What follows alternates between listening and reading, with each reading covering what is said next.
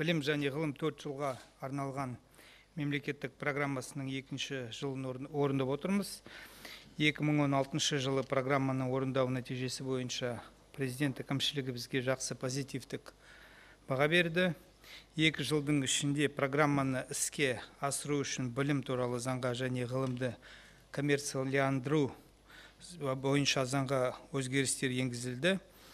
2017 жылы программада 8 индикатор 51 көрсеткіш 168 іс-шара қарастырылған. Жалпы барлық индикаторлар және көрсеткіштер сәтті орындалуда.